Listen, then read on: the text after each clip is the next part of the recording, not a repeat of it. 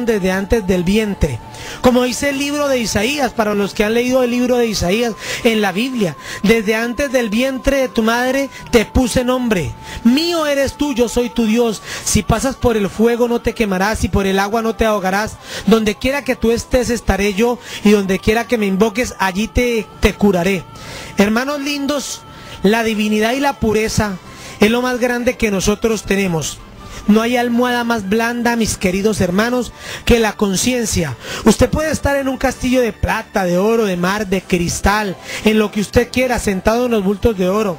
Pero si a usted lo, ataca algo en su conciencia, se siente inconforme por algo, duerme mal o no duerme, se siente angustiado, con tristeza, se le acelera el corazón, peor que si consumiera algún vicio. ¿Sabe por qué? Porque repito a todos mis hermanos, que la conciencia es la almohada más suave. Por eso cuando usted tiene conciencia, así duerma sobre el suelo, así duerma en una cárcel, usted es una persona que realmente es libre.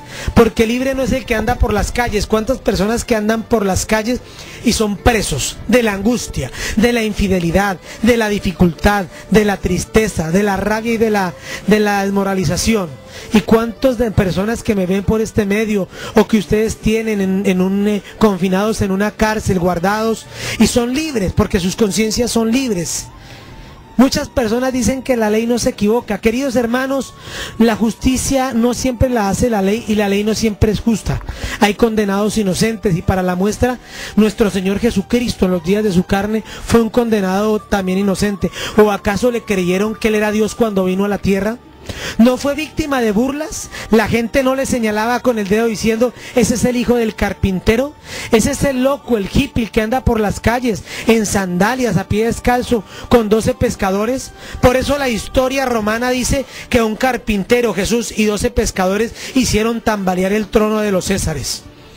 ¿Qué quiero decir con todo esto, hermanos?